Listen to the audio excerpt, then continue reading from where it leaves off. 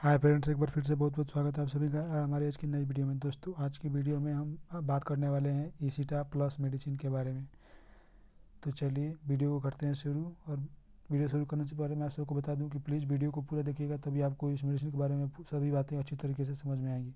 तो चलिए वीडियो को करते हैं शुरू बिना देर किए हुए।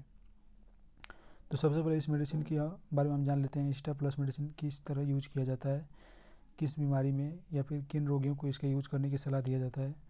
तो ख़ास तौर पर तो डिप्रेशन के जैसे रोगियों को इसका यूज़ करने के लिए सलाह दिया जाता है। इसके अलावा मतलब अगर किसी व्यक्ति को नींद नहीं लगता है तो उसके लिए भी इसका यूज़ किया जाता है।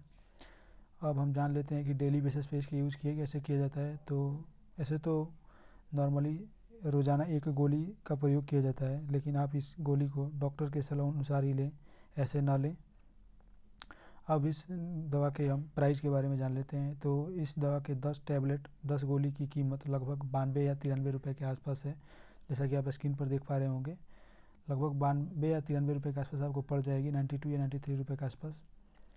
अब हम बात कर लेते हैं इसके साइड इफ़ेक्ट्स के बारे में। तो इस मेडिसिन के बहुत सारे साइड इफ़ेक्ट्स देखे गए हैं जैसे कुछ लोगों पर सूट करता भी है और कुछ लोगों पर सूट नहीं करता है। जैसे कि इस, इसके साइड इफ़ेक्ट्स देखे गए हैं जैसे कि हल्का मात्रा में सिर में दर्द होना उसके अलावा सीना में हल्का मात्रा में दर्द होना और आपको ऐसे पेट में भी हल्का हल्का दर्द महसूस हो सकता है।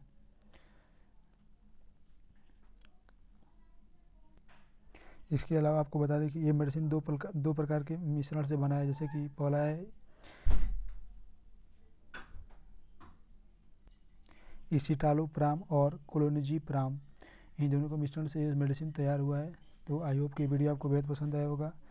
तो रोज़ाना ही ऐसे अमेजिंग वीडियो पाने के लिए हमारे चैनल को सब्सक्राइब कर लीजिए और यदि आप चैनल पर पहली बार आए हैं तो इस वीडियो को भी लाइक कर दीजिए और कमेंट ज़रूर कीजिए कि वीडियो आपको कैसी लगी। और अब मिलते हैं आपसे नेक्स्ट वीडियो में। तब तक के लिए इस वीडियो को आप इन्जॉय कीजिए और आज के लिए बस इतना ही।